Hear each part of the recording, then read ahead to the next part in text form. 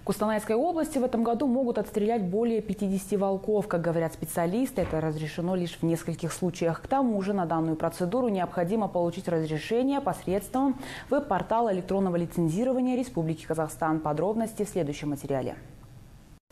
Согласно биологическому обоснованию, срок регулирования численности животных утвержден до 31 декабря 2024 года. Как поясняют специалисты отдела животного мира и охотничьего хозяйства, отстрел волков разрешен лишь тогда, когда зафиксирован факт того, что хищник зашел на территорию населенного пункта и напал на скот.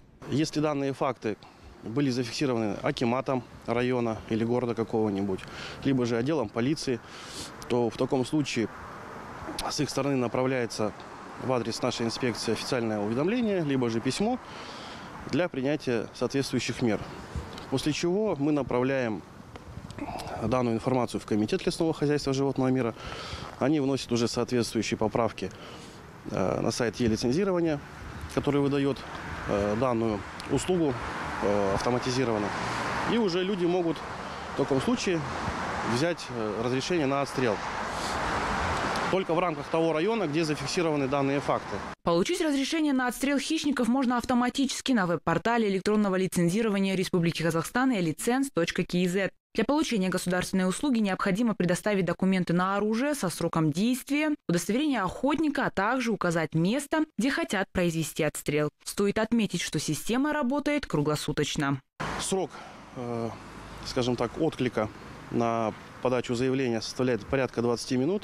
Это ежегодная процедура. Ежегодная процедура.